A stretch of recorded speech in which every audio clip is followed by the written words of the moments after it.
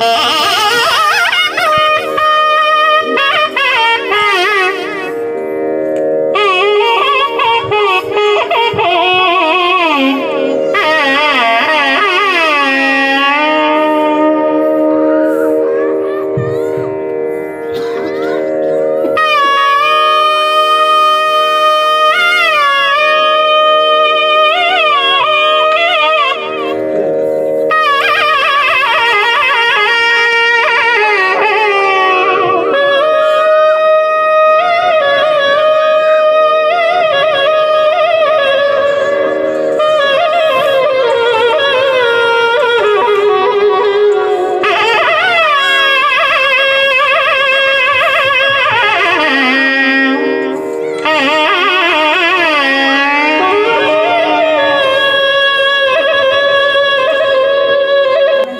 అందరికీ నమస్కారం.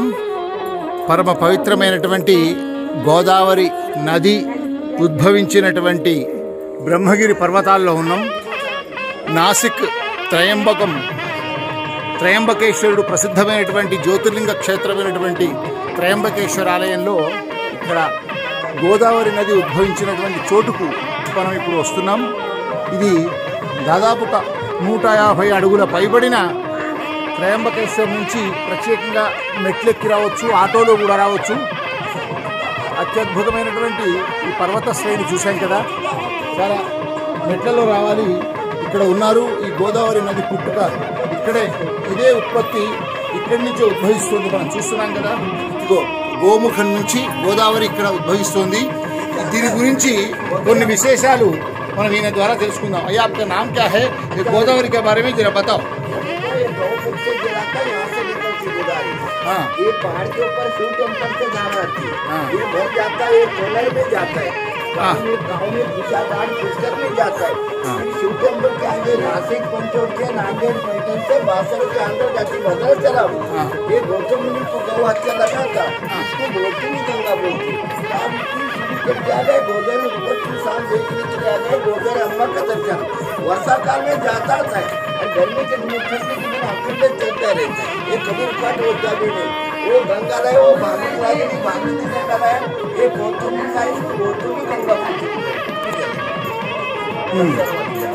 पर्वत श्रेणी का नाम क्या है? गंगा द्वार। ब्रह्मगिरी पर्वत। पहाड़ के ऊपर ये पहाड़ के ऊपर ये ये ये। गंगा द्वार है। गंगा द्वार है ये। गंगा द्वार पर्वत। आप कितने साल से इधर पूजा पाठ कर रहे हैं? तीन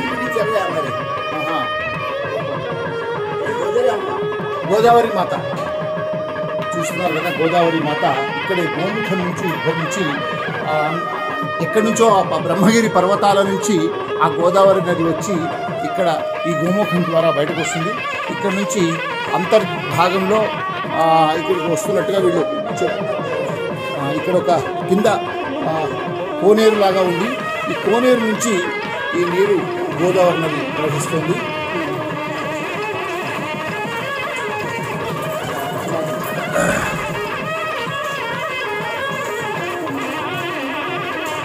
ఈ గుహలోంచే ఇక్కడ ఉన్నటువంటి గోదావరి కోనేరును మనం చూస్తున్నాం. ఈ కోనేరు ద్వారా గోదావరి జలం మనకు నాసిక్ అక్కడి నుంచి బాసర ఇంకా ఆంధ్రప్రదేశ్ రాష్ట్రాల మీదుగా బంగాళాఖాతంలో కలుస్తుంది. పవ పరమ పవిత్రమైనటువంటి గోదావరి జన్మించినటువంటి స్థలంలో మనం ఇప్పుడు ఉన్నాం.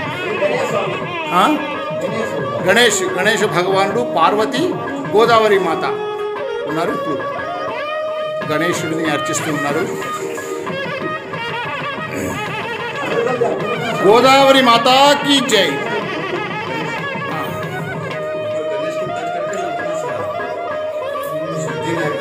సిద్ధివినాయక్ एक बार ये दिखाओ ये कितना अंदर कितना ఇప్పుడు ఏదైతే గోముఖం నుంచి వస్తున్నటువంటి ఆ గోదావరి నది ఇందులోకి వస్తుంది మూడు ఫీట్ల లోతు ఉందని చెప్తున్నారు ఇక్కడ నుంచి ఇది అండర్ గ్రౌండ్ మీదుగా ఆ గోదావరి నది ఆ, త్రయంబకేశ్వర్ నాసిక్ మీదుగా ఆ, బాసర ధర్మపురి అలా ఆంధ్రప్రదేశ్లో చేరి రాజమండ్రి మీదుగా గోదావరి చేస్తుంది. ఇప్పుడు ఒక్కసారి కొండ మీద నుంచి కూడా మీకు ఈ త్రయంబకేశ్వర దేవాలయం యొక్క పరిసరాలను చూపించడానికి ప్రయత్నం చేస్తున్నాను. చాలా ఆహ్లాదకరమైనటువంటిది. తప్పనిసరిగా షిరిడి వచ్చేవాళ్ళు కానీ నేరుగా నాసిక్ వచ్చేవారు కానీ త్రయంబకేశ్వరానికి విచ్చేసి ఈ పర్వతం ఈ బ్రహ్మగిరి పర్వతం దిగువ ఉన్నటువంటి ఈ గోదావరి పర్వతం ఏ పర్వత సహ్యాద్రి సహ్యాద్రి పర్వతం ఇది. ఈ సహ్యాద్రి పర్వతంలోనే గోదావరి నది ఉద్భవించింది. గంగామాతా మందిర్ గంగా నది ఉద్భవించి గోముఖం ద్వారా గంగా నది ఉద్భవించినటువంటి ఈ ప్రదేశం తప్పనిసరిగా చూడాలి. మనం ఎన్నోసార్లు పవిత్ర క్షేత్రాలకు వెళ్ళి గోదావరి పుష్కరాల సందర్భంగాని మళ్ళీ ఏ క్షేత్రానికి వెళ్ళినా అది బాసర అయినా ధర్మపురి అయినా కాళేశ్వరం అయినా ఇంకా రాజమండ్రిలో పవిత్ర గోదావరి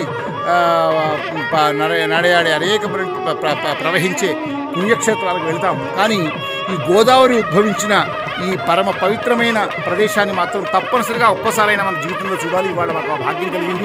ఇక్కడికి వచ్చేసాం ఇక్కడ నది ఉద్భవించిన ఈ చోటును చూడడానికి క్రిందనే మహాబలేశ్వరంలో పరమ పూజ్యుడు గురుమదనానంద సరస్వతి పీఠాధీశ్వరులు శ్రీ శ్రీ శ్రీ మాధవానంద సరస్వతి స్వామి వారు శతకోటి సహస్ర శతకోటి దత్తనామ జప మహాయజ్ఞాన్ని నిర్వహిస్తున్నారు. అందులో భాగంగా ఇవాళ దత్త జయంతి రోజున ఇవాళ మేము ఇక్కడికి వచ్చాం. ఈ పవిత్రమైనటువంటి గోదావరి మాత ఉద్భవించిన ప్రదేశాన్ని చూసి మేమంతా తరించాం మీరు కూడా తరించింది జై బోలో గోదావరి మాతాకి జై బోలో గోదావరి మాతాకి